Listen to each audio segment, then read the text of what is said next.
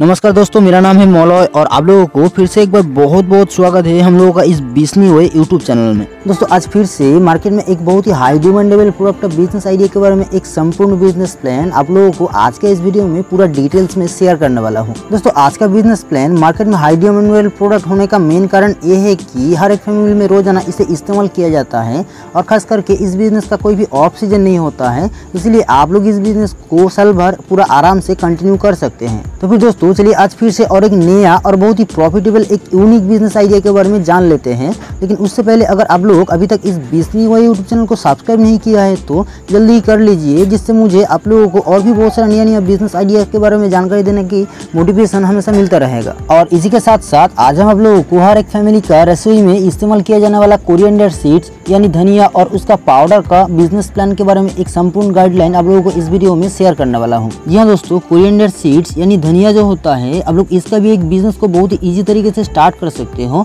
वो भी बहुत ही लो इन्वेस्टमेंट के साथ और महीने का आप लोग पचास से सत्तर हज़ार रुपए या उससे भी ज़्यादा तक की प्रॉफिट मार्जिन इस बिज़नेस के थ्रू इनकम किया जा सकता है। तो भी दोस्तों, चलिए अभी स्टेप बाय स्टेप इसका जो बिज़नेस प्लान होने वाला है, उसे हम लोग डिटेल्स में समझ लेते हैं। दोस्तों, आपको इस कोरिएंडर सीड्स यानी धनिया और उसका पाउडर का जो बिज़नेस होने वाला है, उसे स्टार्ट करने के लिए सबसे पहले इकट्ठा करना होगा कुछ रॉ मटेरियल्स और इक्विपमेंट का, जिसमें से आपको सबसे पहले लेना होगा इन सारे कोरिएंडर सीड्स यानी सूखा धनिया का दाने को जो कि बेसिकली इस बिज़नेस का मेन रॉ मटेरियल होने वाला है। और इन सारे सूखा धनिया का दाने को अब लोग तीन अलग अलग तरीके से जुगाड़ कर सकते हो। पहला आप लोग कोलकाता बड़ो बाज़ार या कोलकाता राजा काड्रा मार्केट या दिल्ली के खाड़ी बाउली मार्केट जो कि एशिया महादेश का सबसे बड़ा ड्राई फ्रूट और मसालाओं का होलसेल मार्केट होता है, इन सारे मार्केट से या आपके आसपास में अगर कोई बड़ा होलसेल स्पाइस मार्केट है तो आप लोग वहाँ से भी इन सारे धनिया का दाने को या उसका पाउडर को बिल्कुल होलसेल रेट में खरीद सकते हो। दूसरा, आप लोग अगर किसी गाँव साइड इलाके में जाएँगे तो जहाँ धनिया का सबसे ज़्यादा मात्रा में खेती किया जाता है, वहाँ का किसानों के पास से भी आप लोग डायरेक्टली इसे खरीद सकते हो क्योंकि ऑब्वियसली बहुत सस्ता रेट में मिलने का उम्मीद ज़्यादा रहता है। और तीसरा आप लोग IndiaMART dot in, Alibaba dot com या अली एक्सप्रेस डॉट कॉम की जैसा वेबसाइट के थ्रू भी बहुत सारा सेलर के साथ कांटेक्ट करके भी इन सारे धनिया को या इसका पाउडर को बिल्कुल होलसेल रेट में परचेस कर सकते हो। लेकिन अगर बात आता है इन सारे धनिया का होलसेल रेट में मार्केट भाव के बारे में तो फिर आप लोग इसे लगभग चालीस पचास रुपए से लेके साठ रुपए में पर किलो के हिसाब से इसे आप लोग बिल्कुल होलसेल रेट में परचेस कर सकते हो। और उसके बाद आप लोगों को लेना होगा कुछ पैकेजिंग मटेरियल्स जिसके लिए आप लोगों को इस टाइप का पाउच पैकेट्स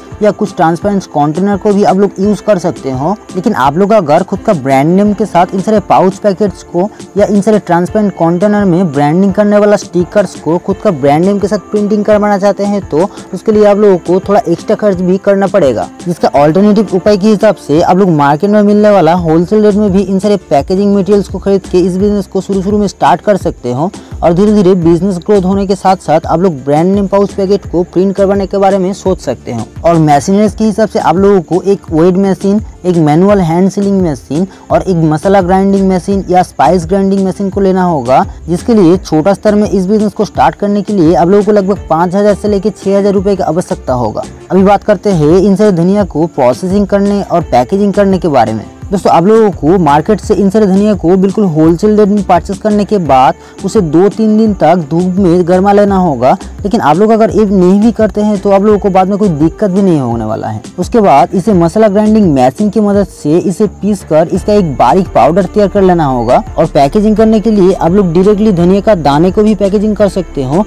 या इसका पाउडर निकल के भी आप लोग इसे पैकेजिंग कर सकते हो। जिसमें से आप लोग 50 ग्राम 100 ग्राम से लेके 500 ग्राम और एक किलो तक की भी पैकेजिंग कर सकते हो। दोस्तों, अगर बात किया जाए इस बिज़नेस में आपका प्रॉफिट मार्जिन के बारे में तो फिर आप लोग मार्केट से इन सारे धनिया का दाने को बिल्कुल होलसेल रेट में पचास रुपये पर किलो के हिसाब से भी खरीदते हैं तो आप लोगों को इसे पैकेजिंग करने में और आदर्श कॉस्ट को मिला के लगभग पैंसठ रुपये से लेकर सत्तर रुपये तक की पर किलो के हिसाब से आप लोगों को खर्च होगा। लोकल मार्केट में आप लोग इसे दो सौ